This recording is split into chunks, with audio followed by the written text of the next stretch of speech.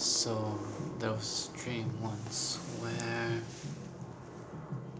I just remember seeing a couple from like the top corner of a hotel room and they were packing like it looked like they were just getting ready to go. It was like a true romance scene.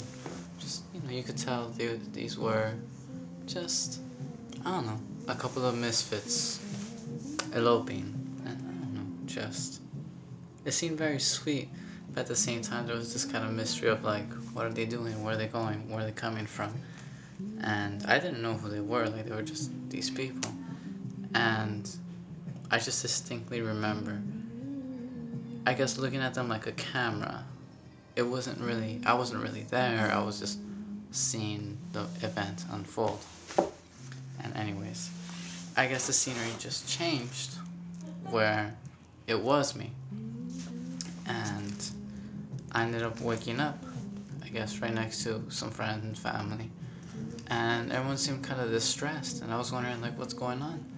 And so they were saying how they were being threatened by these people over the phone, by through the television, like just crazy shit.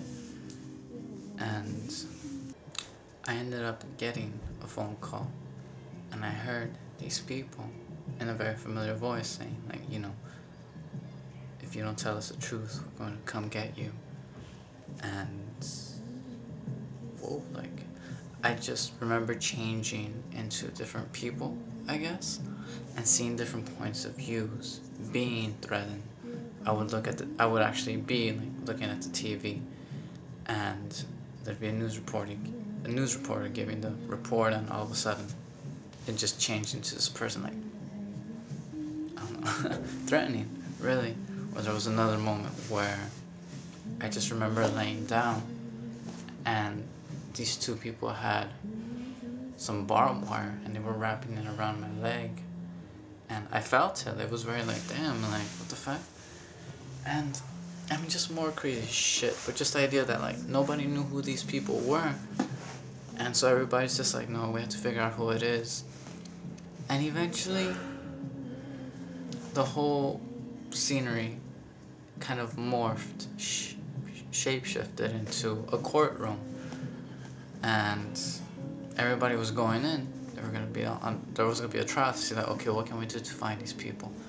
And I just remember being like, oh, I'm just kind of tired. Like, I just, I don't know. I just ended up going to sleep again, and it's just a trip, because then I ended up watching a movie in a dream and I saw the two people from the beginning.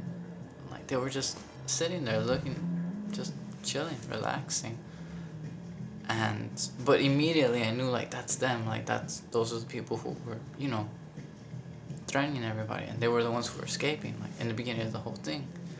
And so I wake up, and I remember going up to the courtroom. Everybody was leaving already, and I was like, hey, like, you know, I know who it is. And they're like, yeah, we do too. Like, you know, we're going to go after them. We're going to find them. And they ended up driving to the motel. But by the time they got there, like, they were gone. And I don't know if I remember visually seeing the couple leave in a kind of after frame, I guess. But I just remember thinking, you know, they just kind of got away with it and it wasn't too scary it wasn't that out there. But i really liked the idea of those multiple perceptions. Being able to i guess again shapeshift the scenery or it shapeshifting itself. It wasn't really a lucid dream. I don't know it was just there's so many different aspects to a dream and what you can control, what you can't, what happens, what really you're in control of. There's just too much to go into it. Now, the other thing that really did interest me was the way everything just unfolded, the way the different time frames just kind of have shifted and how it happened in a certain order and how I saw something in the movie, like in the dream, in the dream. And I don't know, just a funny way that dreams can do that sometimes.